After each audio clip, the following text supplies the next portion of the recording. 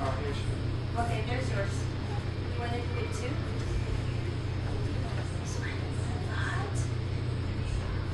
What?